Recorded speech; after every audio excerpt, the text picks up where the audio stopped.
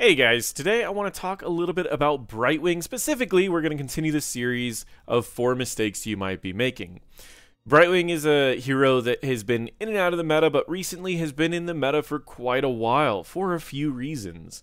Um, but Brightwing does have quite a few mistakes that I commonly see, specifically when I'm um, when I'm coaching people and I'm watching a replay of Brightwing, I see a few mistakes much more often than, than others, and some of these mistakes are so simple, it kind of just makes me want to tear my hair out. But let's start off with one that's not so common, which is not double soaking. And people don't realize this. Most people like to use Brightwing because, oh, we've got the global. Brightwing can push in one lane and then join the team with the global. But in reality, Brightwing can actually double soak. As early as level 7, um, and by level 9, it's a tad bit more forgiving, and then by level 13, 14, it's a lot faster. So the way that it works is you will throw your Q and you want the middle ring of your Q to hit as many targets as possible, generally the backliners. Then you'll attack each minion three times. And then you'll throw one more Q, and that kills the minion wave. Now, we can finish off with just a couple extra auto attacks, leading up to 12 auto attacks, and then we do the same thing in this lane. One, two, three. One, two, three. One, we'll throw out a Q. Two, three. We can finish off with those last three. Use our mobility, and guess what? You can get back to this lane without much of an issue. So, double soaking is something that you should be doing if you have the capabilities of it and your team has some place that they could be getting value while you're double soaking. So, if you were someone who played Brightwing and you were abusing the global aspect by having your team fight like a 4v5, you could actually have been getting twice the value that you have been getting in the past now that you know that you can double soak. And that could significantly increase your win rate by giving your team a much larger experience lead than they had before.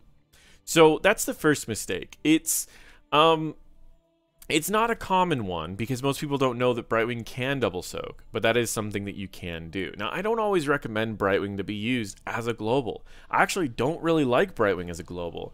I just found that when I was moving up in the rank in Storm League on my kind of my healer only accounts, um, I had to cover lanes a lot for my team. And I didn't really want to use my global all the time. Um, so I would double soak lanes and then I would just catch up to my team at the very last minute when we really needed me to be there. And that gave us a two to three level lead in every game that I played because I was able to do that. The next mistake is kind of a silly one as well. It only really matters on a couple objectives, but I see most people stay with the same build all the time on Brightwing, and it's usually preference of what that build is. But I want to say that there's one talent in particular that I feel is not preference. Um, and it's a little bit more objective when you should take it. So we'll take any talent level 1, doesn't really matter. Level 4, you can go with anything that you want to. That is preference, unless you are on a map that dealing damage to someone can interrupt an objective. And this is an objective that they have to sit on, meaning that they have to channel it for a second. So this could be Towers of Doom, this could be anything. All of those channels are like Cursed Hollow, Towers of Doom, Plant Map, whatever. Um, all of those channels require a five second channel and Dream Shot increases the range of your Q by 50%. And if you hit someone with it, it makes the cooldown drop by two seconds, meaning this will be a four second cooldown and it'll have a longer range. Well, look at its range already, right? It, it's a pretty large range. When we get Dream Shot, look at this range. Look at how far you can be. We can throw a Q and we can interrupt from this far away. And guess what? If they're on the point, oh, it does reduce it to two seconds. Yeah, yeah. Um, if they're on the point, you can literally just sit back here and you can forever stall every time they try to channel that point. Even if they dodge, they only have a one second window for them to rechannel fast. So even if you throw this out and you miss, they have one second and now it's already too late. Because we just have to wait as they're channeling, we're going to throw out the second one. This talent alone on specific maps that you have to channel a point will significantly increase your win rate if you use it correctly, right? If you sit back, you interrupt a couple times, um, those couple times could be enough for your team to get there, and then your team's there, you can fight.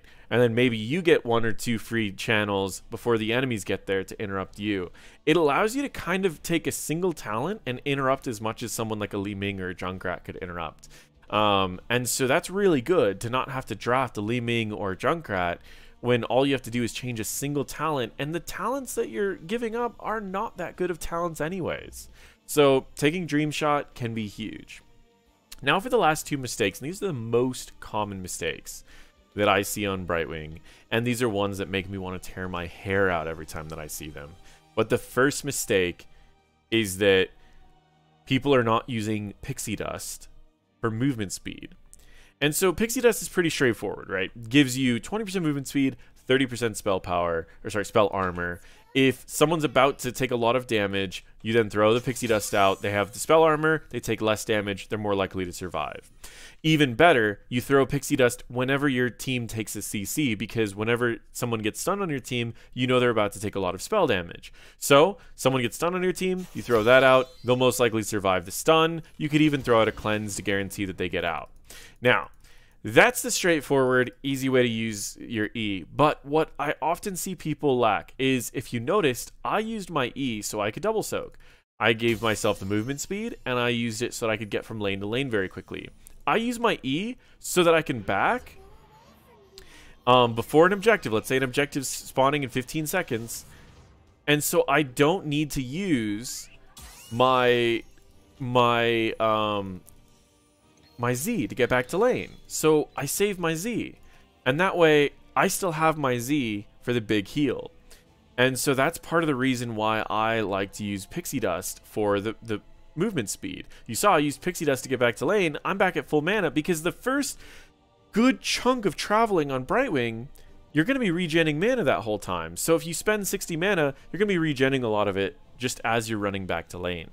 And so that's kind of where um, that mistake comes from. And finally, I want to just add one more piece to this. The amount of times I was coaching games and I saw people playing Brightwing, and as they had a tank like a Garrosh or a Diablo running towards the enemy, and they didn't give him Pixie Dust. You give that Garrosh Pixie Dust, he moves faster than the person that he's chasing, he throws the person, you polymorph them, you guys lead to a kill. And so I saw several kills missed in the games that I was watching where they just didn't give movement speed to their tanks at the right time. And they tend to use pixie dust a little bit more randomly. So I'm going to give you two rules. One, if your tank's trying to engage, give them pixie dust. Two, if you're trying to move around the map faster, pixie dust yourself. And three, if someone on your team gets hit by a CC, you pixie dust them. Those are the probably 80% of the uses of pixie dust. Feel free to use them when like a pyroblast is about to hit someone or uh, if you see any other situation where it might be valuable. But about 80% of the times you use pixie dust should be one of those three things. Now, for the last mistake, and this is my biggest frustration, is people using their Z for the teleport and not the heal. I can't tell you how many times I'll see people back and then teleport back to an objective um, before the objective is even spawned. Now when the objective spawns, you don't have your biggest heal. The one downside to Brightwing, I guess there's a few downsides, of course. Every hero has their weaknesses. But the major downside to Brightwing is that Brightwing is a healer that doesn't have a lot of single target healing. Brightwing has mostly AoE healing. And this is a downside to like Lucio as well.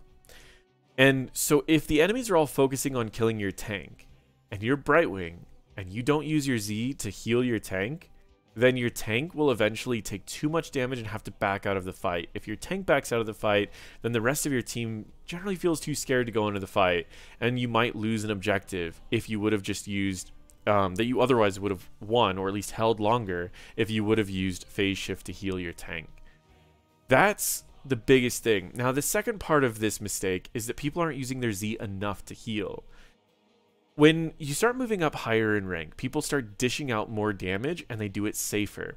But your team's also going to be taking a lot more damage as well. So if you're not using this off cooldown, you're usually going to fall behind other healers.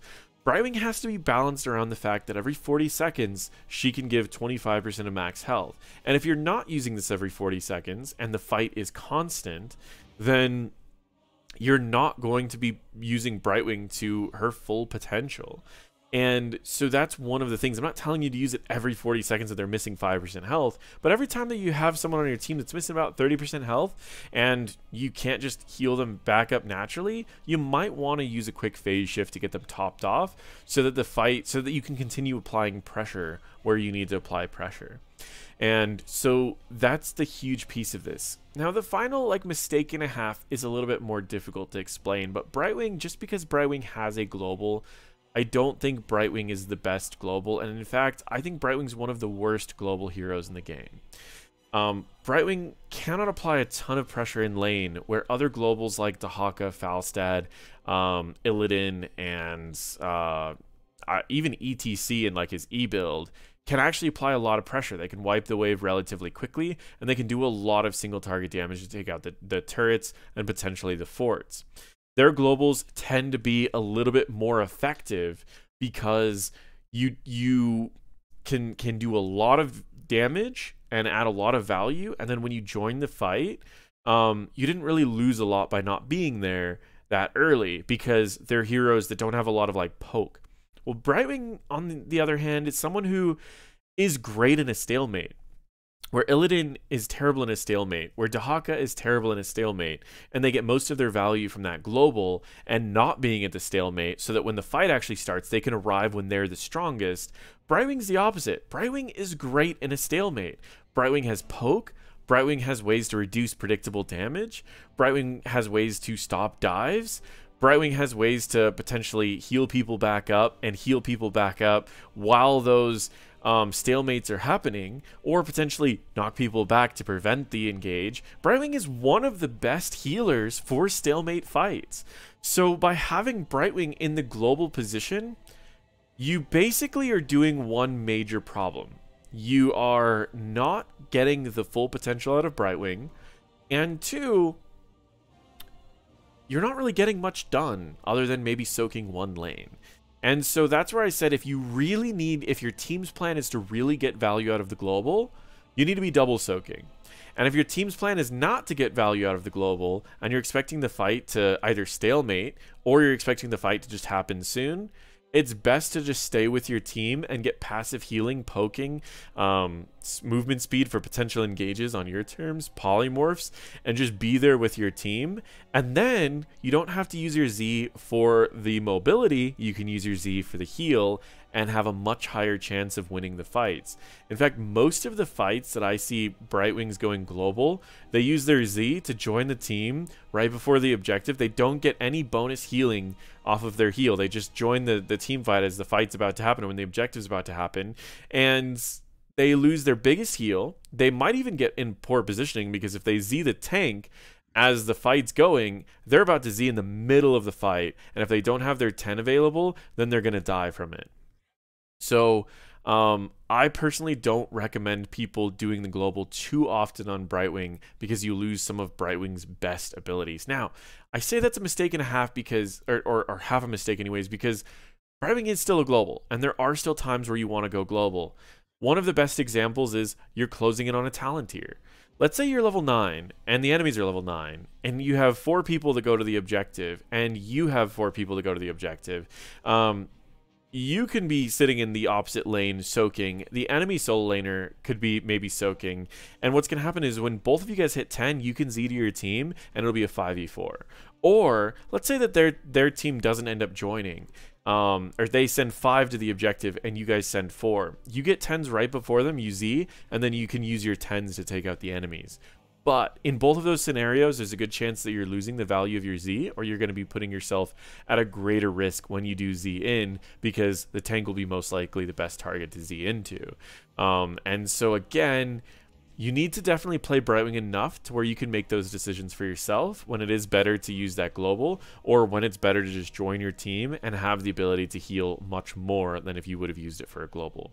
It's definitely not something that you'll learn very quickly because it is kind of one of those things where it's really hard to tell which you're going to get more value out of outside of watching the replays later and kind of adding up the amount of heals you missed by not being there and adding up the risks that you have and then the values that you would have gained from going global. Um, that's something that I've kind of figured out on my own, and I would say in about 80% of cases where people go global with Brightwing, it turns out worse than if they would have just stayed with their team. About 20% is the opposite, where they just would have been much more effective if they would have went global for those particular talent tier um, spikes that, that you might be trying to go for. So those are the four to five mistakes that people commonly make on Brightwing. Now let's talk a little bit about the build that I recommend, and I'm going to tell you guys why I like this build. So I like two builds on Brightwing, but I'm just going to give you the one. Hypershift into Unstable Anomaly, into Peekaboo, into Blink Heal or Emerald Wind.